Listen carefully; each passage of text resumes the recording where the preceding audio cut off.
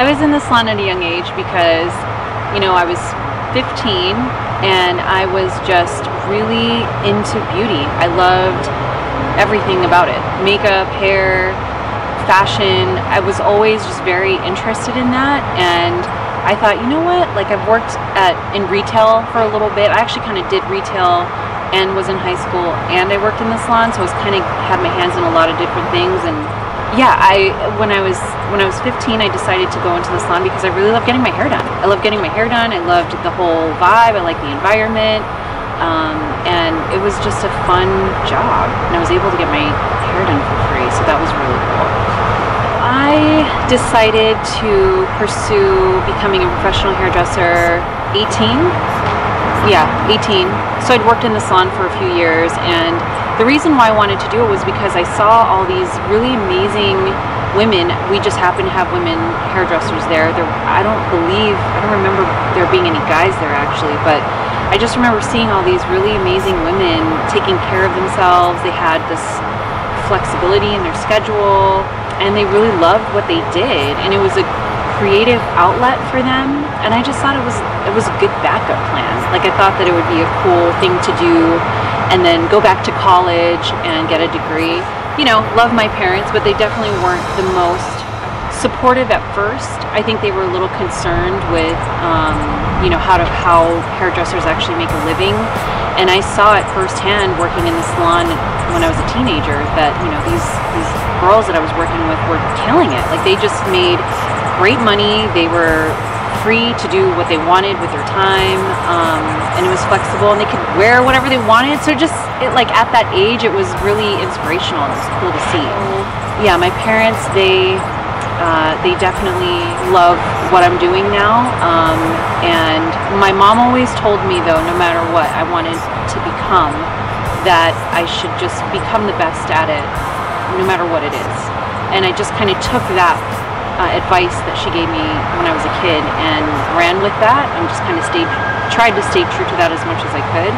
So I think, and that's something that a lot of us struggle with, is uh, just getting your close circle's acceptance of wanting, of, of you becoming a hairdresser because there's this notion that you can't make a good living. And that's actually what created my personal fear of can I actually make a living doing this, you know? So um, I think that I was very driven by that. I'm one of those people that if you tell me I can't do something, I'm going to try even harder to, to make it happen.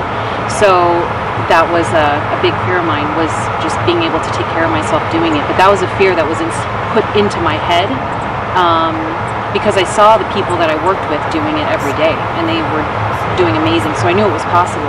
As far as people trying to talk me out of it, um, that didn't that didn't really happen too much. Um, and I was able to block a lot of that noise out anyway and just focus on the craft and what I wanted to do and just try to stay true to being a creative person and really had a very strong desire to make a living out of it, out of being creative through hair, through making people feel good. So I think as long as I just stayed focused, that's kind of what got me through some of the hurdles. But you know, anyone going into this, you you will have that you, you may have that where people might think like, oh, hairdressing, like it's not the most prestigious thing, but when you actually know what goes into it and the craft and how hard it is, I just I wish people knew more of that because I think that it would really change the perception of what hairdressing is and how how difficult it is and why we deserve to be paid the way that we deserve to be paid.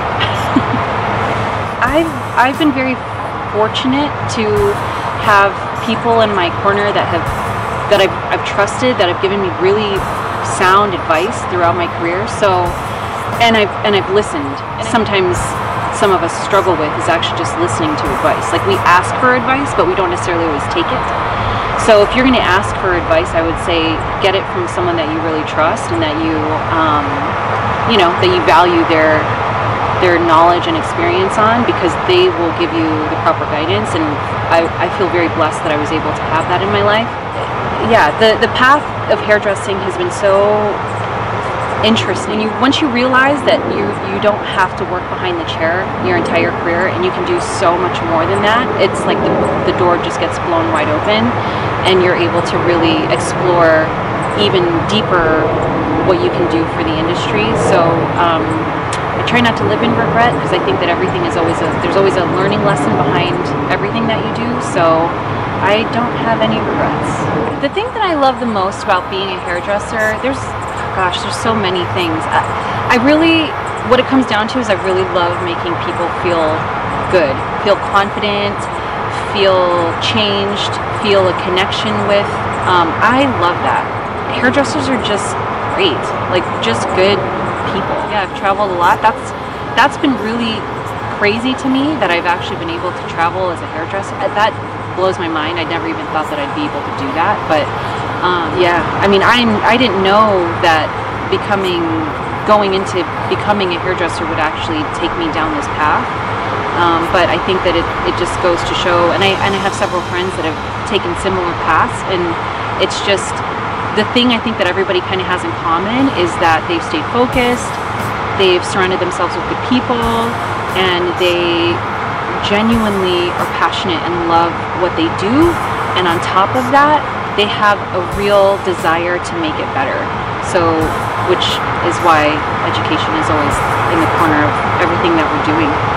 Just trust your intuition. So if there, if you are really kind of teetering on the idea of becoming a hairdresser and that's something that your mind keeps going back to, I think you should just do it. The cool thing about becoming a hairdresser is that you will always have that skill and that craft and that's what i think is the beauty of it because you no one can take that away you know and you'll always have that so i would just say just do it just do it and but really if you're gonna do it do it as well as you possibly can because it's kind of saturated and you really want to make sure that you have um, the competitive skill that are that's going to get you there and i think that that's where Bellus does a really amazing job of developing young talent. So, yeah, I mean, just do it.